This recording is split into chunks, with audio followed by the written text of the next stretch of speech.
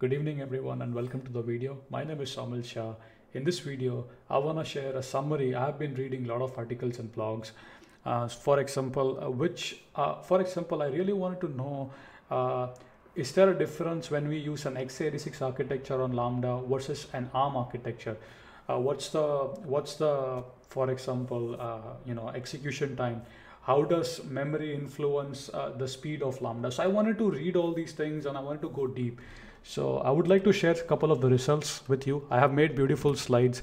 And by the way, I have went through so many articles as you can see. Uh, let me bring it down. So all these articles I have read and you know, I have went through them. I have summarized them. I have cited everything properly. As you can see, I've, I've been through very, very lot of articles. All, all, all, every articles have been cited. I have properly cited. So let's get started. So this is a summary essentially about AWS Lambda Battle x86 versus ARM. I would be providing you a summary of what these gentlemen have done in their articles and blogs. Um, as I've mentioned, right, everything has been cited, right? So you'll see all, all the materials have been properly cited. Uh, this one is taken from Mr. Beswick James, uh, operating lambda performance optimization part 2 that's the article.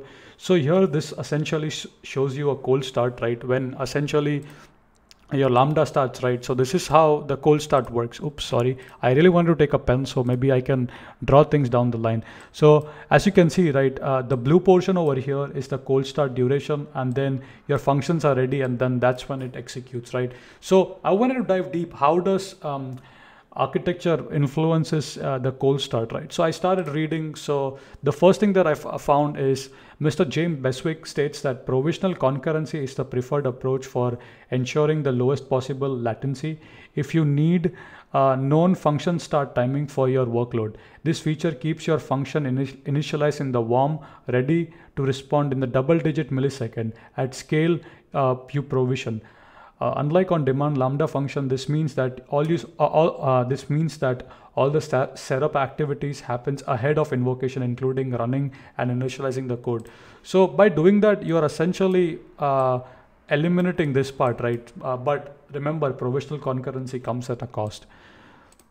Then I, I went further and I read more articles and then I'm like, okay, so according to Mr. Um, Poccia Danilo, in his article published, uh, he states that Lambda function on AWS Graviton 2 processor is at the heart of his system. Use ARM to run your function and get a 34% better price and performance. So using ARM, you can get 34% better price and performance. Author further states that the Lambda function powered by Graviton 2 are designed to deliver up to 19% better performance at 20% lower cost. Function using ARM Graviton 2 architecture duration charges, charges are 20% lower than the current pricing of for x86. Function using the ARM uh, function using the ARM architecture benefits from performance and security built into Graviton 2 processor. Uh, so that's what the author states, right? So ARM is clearly a winner. Um, as I'll sh keep showing you all the graph, um, this is this graph has been formulated. Uh, the data has been taken from Mr. Flinch of, on his article AWS Lambda Battle x86 versus ARM. What you observe from the graph is, uh, as you can see, the yellow one is the ARM processor, and as you can see, the cold start for the ARM is less than the uh, that of x86. So the blue is the x86. So that's a very important conclusion that you can derive from this graph. Uh, these are various programming languages. Uh, so I have essentially circled the one in Python uh, with a red box. Uh, to, to show you a little bit more, um, I have a zoomed version. A beautiful conclusion that can be derived from this is, um, sorry for that, a beautiful conclusion that's derived from this is, as the memory increases, as you can see, as the memory increases, the cold start time decreases. But remember, increasing memory means increasing cost as well. You want to find a suitable sweet spot for your application. So a very important conclusion that you could drive from this graph.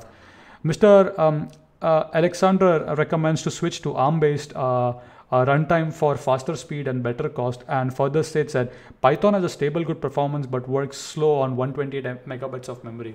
So don't use 128 MB in your Lambda function. I, is, everyone is talking that it, the performance is not good for 128 megabytes. That's what I have been reading and um, uh, seeing.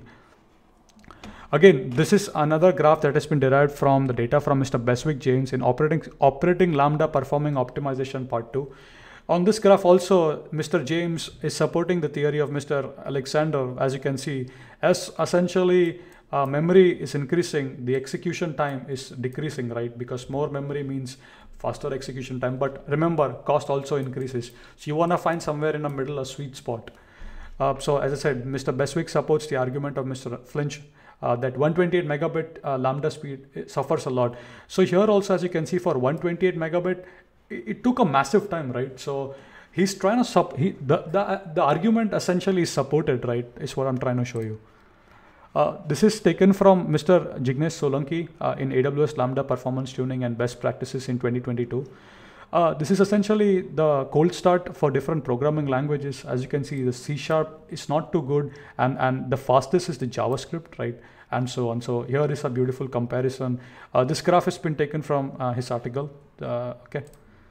Summary and takeaways for Python AWS Lambda. Try to use ARM-based system instead of x86 for faster speed and cost. To eliminate cold start, try to use provisional concurrency for massive bursty traffic.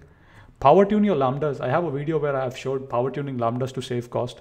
Avoid using 128 meg uh, megabits of memory in your lambda functions.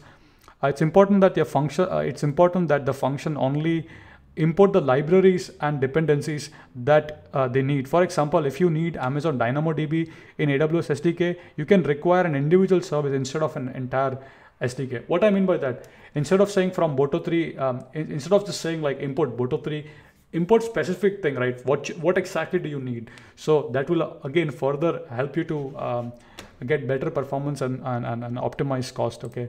My further reading topics would be um, I want to see the effect uh, of with and without layers on AWS Lambda and cold and hot start.